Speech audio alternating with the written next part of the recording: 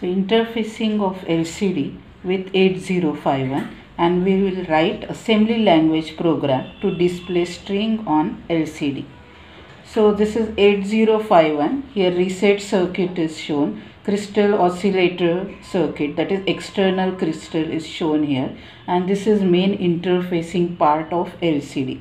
So as we have seen in previous video that LCD is having these different signals so first data bus D0 to D7. Here I have connected D0 to D7 to port P2 of 8051.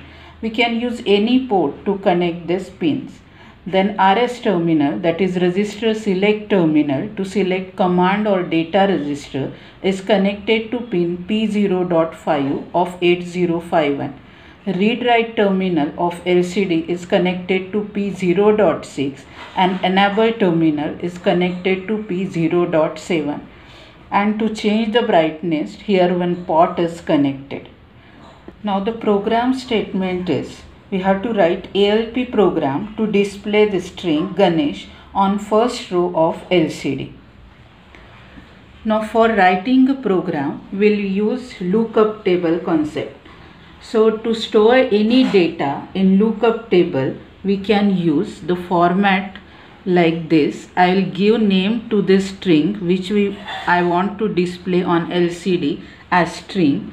Then give colon and then db in quotation single quote we have to write string which we want to display so here i will write ganesh then end this single quote and to indicate end of string we have to write here 0 so db means it, st stores the 8 bit ASCII value of each of this character in memory location. So db indicates 8 bit. So how the string will be stored in memory? So this string needs a 6 uh, memory location plus memory location to store this 0 which indicates end of the string. So here string will be stored like this. Here ASCII value of G will be stored at this first memory position. Then ASCII value of A, N, E, S, H and then ASCII value of 0 will be stored here.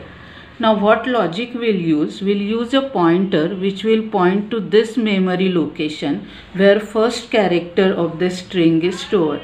So our pointer will point to this memory location.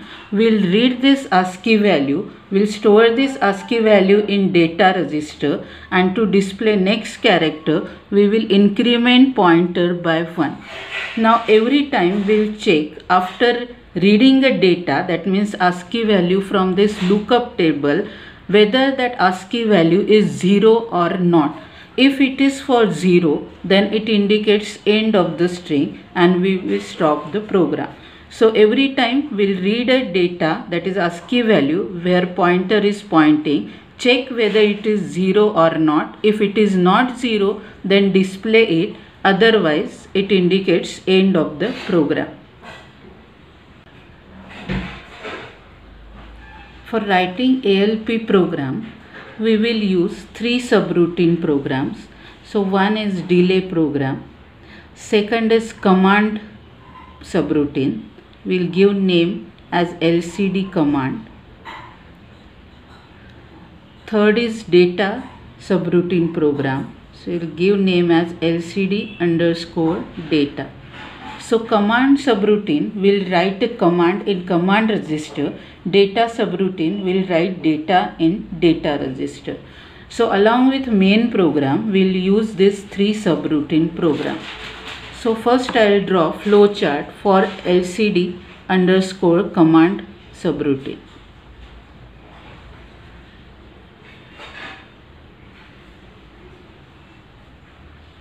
So first we'll store this command we'll assume that command is stored in accumulator. So we'll store the accumulator contents or we'll place contents of accumulator on port P2 so P2 is our data bus. So actually we are storing a command. Maybe 38h 0eh 01h or address of character that will stored on data bus that is on port p2 after that we'll select register. So since we are writing command this rs register must be at logic 0 so we'll send this signal rs is equal to 0 next step is send read write signal. So as we are writing a data in command register this read write signal should be 0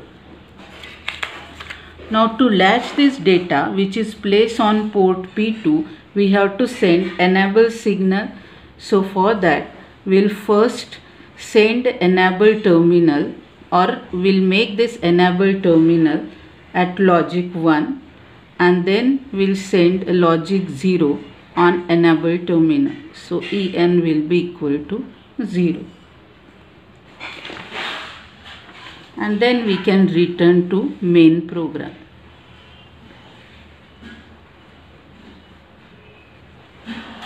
So here data is coming from main program. We'll process all this instruction and then return back to main program. In the same way, we can draw flowchart for LCD data.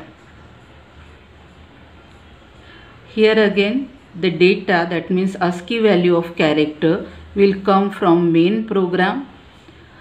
We'll place that ASCII value which is in accumulator on data bus that is port P2 select register data register so this time We'll send logic 1 on RS terminal to select data register. Again we are performing write operation. So R slash W bar should be 0.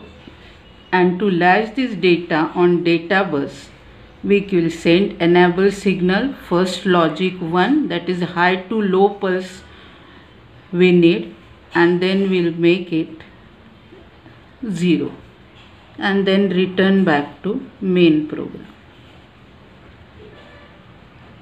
So only difference is in the selection of register.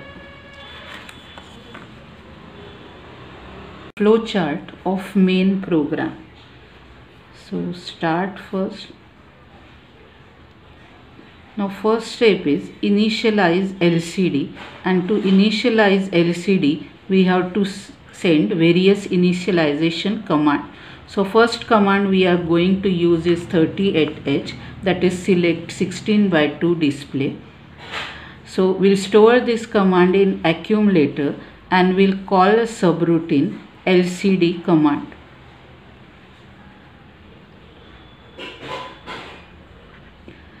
Use same steps to send commands 0EH and 01H.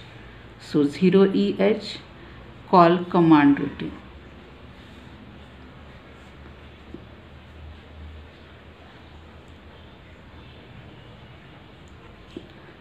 Same for third command a is equal to 01h and we will call or we will write this command in command register.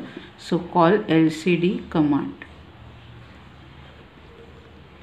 Now initialization is over. If you want to specify any starting address to display a character we can write same command like in accumulator we can specify the address of character maybe 82h 83h or for next row c0h or c1h and then call lcd so same steps we have to repeat to write any command in command register now next is we want to write a data in data register that is ASCII value of character. So as we have seen we are storing the string db and whatever string we want to display that is Ganesh and we are ending this string with 0. So this string will write this instruction as a last instruction in our program so the name of this string, name of this to this string we have given as a string and it will end with 0. This string will be written along with our program that is in flash memory. So read the data from flash memory we have to use instruction movc a comma at a plus dptr. So here dptr we have to use as a pointer which will point first initially to first character of the string that is G and then the ASCII value of this G will be stored in accumulator. So to read the data from memory, flash memory, we have to use this instruction. Before using this instruction, we'll initialize accumulator with 00 zero, so that we'll use only DPTR to store the address. So accumulator contains a 0. So ASCII value of this character will be stored back in accumulator. Now point DPTR to first character of string.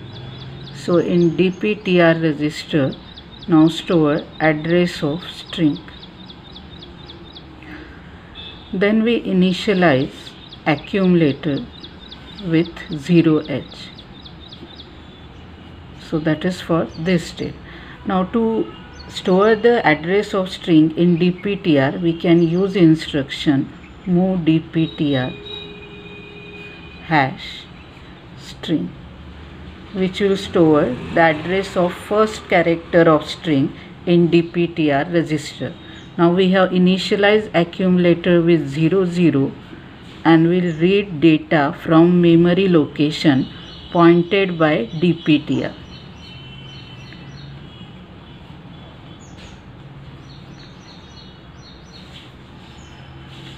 After reading data from memory, we have to check whether this data is 0 or not. That is to check whether it is end of string or not. So the data which we are going to read will be stored in accumulator. So we'll check contents of accumulator are 0 or not. If no, that means ASCII value of character is in accumulator and we want to display this ASCII value. So we will call LCD data subroutine. So call LCD data subroutine to display ASCII value of character.